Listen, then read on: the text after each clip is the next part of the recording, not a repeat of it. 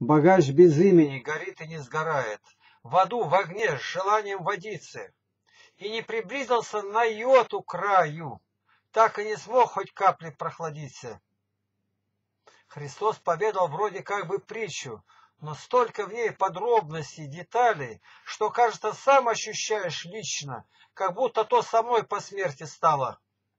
Молитва Ини к Богу, к Аврааму, окончилась, не давшая облегчения.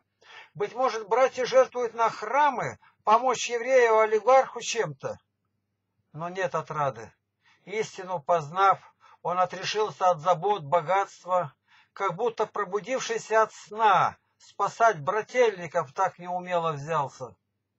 Они же, пять бангиров, олигархов, прохлопавши дурные миллиарды, Стоят на очереди в ад кромешно жаркий, За каплю влаги все отдать бы рады.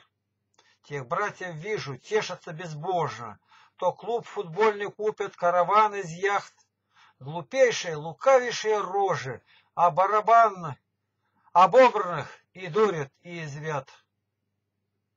Иду промокший с головы до ног, Мне не во что одеться и укрыться. Бежит вода из дыр моих сапог, беднее, кажется, любой церковной крысы. Но не завидую, не злюсь на богачей, не оглушенных воплем воспаленным. На лиходеев жалобы из всех щелей, к себе за влагой жду я их с поклоном. Спешите же, пока я жив доселе, мне Бог знаком, ходил к нему я в гости. Его послы за трапезой присели в моем жилище. Всех к Иисусу просим. 29 мая 2007